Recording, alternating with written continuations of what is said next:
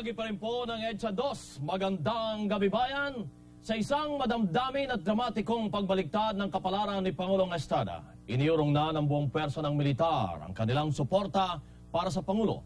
Pinanguna ni na Defense Secretary Orly Mercado at AFP Chief of Staff Lieutenant General Angelo Reyes ang pagbaliktad ng anim na iba pang general ng Armed Forces of the Philippines at tatlong general ng Philippine National Police.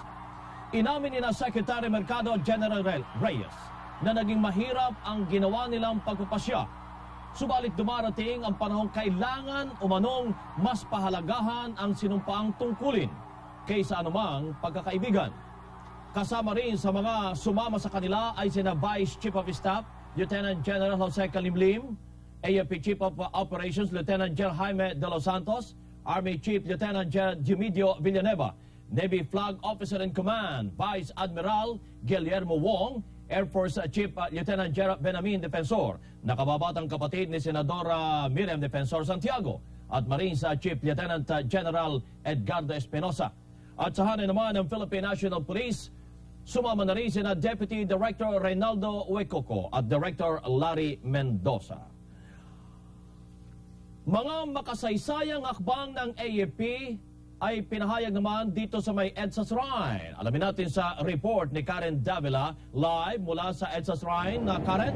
Kabayan, magandang gabi sa iyo at sa buong Pilipinas. Kanina pa tayong mga alas 12 ng tanghali na naririto sa EDSA Shrine at masasabi ko sa iyo, kabayan, na walang nag-akala na mangyayari ang naganap kaninang alas 3 uh, ah, ng kalahati ng hapon. At kanina ng uh, tanghali ay uh, katunayan binatikos pa ng mga rallyista si uh, uh, Presidential Spokesperson Ernesto Maceda na sinabing 4 days lang daw ang itatagal nila dito sa EDSA. At maging si Gringo Honasan ay tinira ng mga rallyista dito na sinabing dahil walang military component ay hindi magtatagumpay ang kanilang pagprotesta. Kaya sa ating isang nakausap ay marahil na karma ang uh, pamahalaan sa kanilang pinagsasabi. Kaninang alas dos ng tanghali kabayan ay nagsigawan pa nga ang mga tao rito na sundalo ng bayan ngayon ay manindigan. Pulisya ng bayan ngayon ay manindigan. At katunayan, Unti-unting nagdatingan kaninang hapon ang iba't ibang mga uh, estudyante mula sa mga paaralan na maihahambing natin sa naganap sa EDSA People Power noong 1986 kung saan ang Miriam Lasal, UE, UST, UP mula sa Baguio ay nagtungo lahat dito sa EDSA Shrine. At katunayan, kumalat nga ang balita na may mga taga Baguio na hininto nang sila'y papauwi dito sa Maynila. At ang uh, peak po ng hapon kabayan ay nang i-announce sa stage ng EDSA Shrine na bumaliktad na nga ang uh, AFP Chief of Staff na si General Angelo Reyes at si DND Secretary Orly Mercado kung nasaksihan lang ng uh, mga nanonood sa telebisyon, talagang nagsigawan ng mga tao, nagtapunan ng confetti. Yun po uh, ang pinakamalakas na palakpak, kabayan. Karen, yes, kabayan. Sandali lamang at ibibigay lang natin ang uh, press conference si Gerard Glipay ng NCRPMP. Okay, kabayan, si Ronald Steleto at uh, karamihan na sa mga opisyal ng Philippine National Police ang bumaliktad na at narito na nagsagawa ng press conference sa pangunguna ni General Aglipay. Narito at pakinggan natin. But the man the NCRPO, I think, is uh, supporting me. So, uh, what we will do is to maintain peace and order. constitutional authority? Ang constitutional authority ay i-declare ng tao. Siguro ngayon, bakit hindi kayo pumunta dyan at tanungin sa kanila? Pero kung mag-order sa Arab, hindi nyo na siya susundin. I have already withdrawn my support to President Arab. I am not, uh, right now, there is no appointed leader, so I am the leader of this group. I will maintain peace and order. So you're a rebel? Parang tipo, sir, you will be considered as a rebel? Parang ganon? Well, uh, the consequences of my action, I have to... Uh, uh, the consequences of the uh, my action, I will have to uh, bear it. Take orders until the constitutional successor has been declared by the people. That's true. I'm going to work uh, for the people until such time that the constitutional authorities uh, will be declared by the people. Sir, will you, still, will you still talk to the president? I was not, I'm not so close to him. I've never talked to him. Anong panawagan niyo? Ang panawagan ko kay President Erap, uh, siguro po ay uh, pagbigyan na po natin ang kahilingan ng karamihan para ma-resolve na po itong problema natin para hindi naman kawawa ang mga mamayan ng Pilipinas. Mga prosecutors ay siga sila. Ah, siguro, nire- ah, siguro nire-respeto tapa tayo hanggang ngayon. Pag pumunta tayo dyan sa street, pag pinagsabihan natin sila, ay re-respetohin pa rin tayo. Dahil alam niyo, ang relationship natin sa mga ah, pro at saka anti ay ah, ah, matagal na relationship yan. At kung anong sasabihin natin siguro ay papakinggan nila. Ang crowd estimate natin, hindi ko pa na-estimate. Sir, talong lang. the trial to go on so as to allow this constitutional process to take its due course.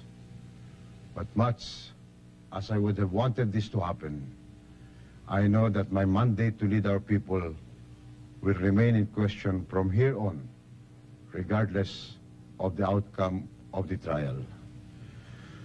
Ako'y nalulungkot na humantong sa ganito ang mga pangyayari.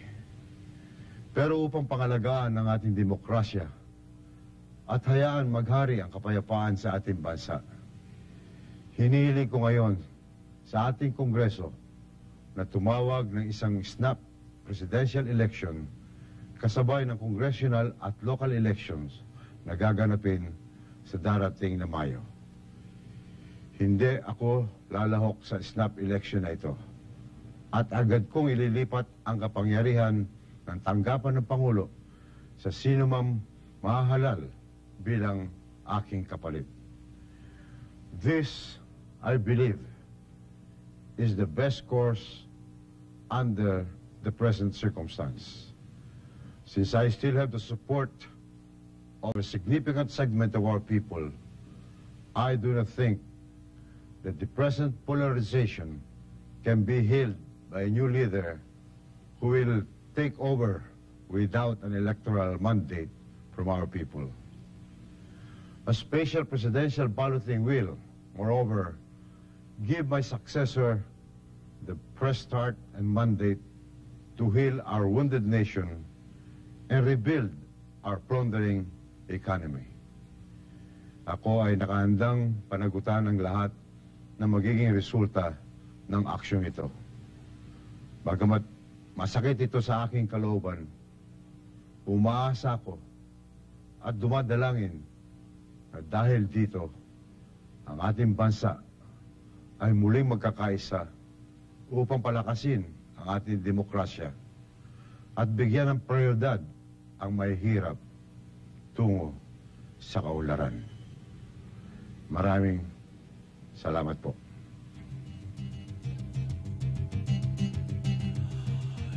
Narinig ko ninyo ang ah, tinig ng ah, Pangulong ah, Era Pestada na kung saan ay sinabi niyang uh, hihilingin niya sa Kongreso na magdeklara ng snap presidential election at hindi po siya sasali sa naturang eleksyon.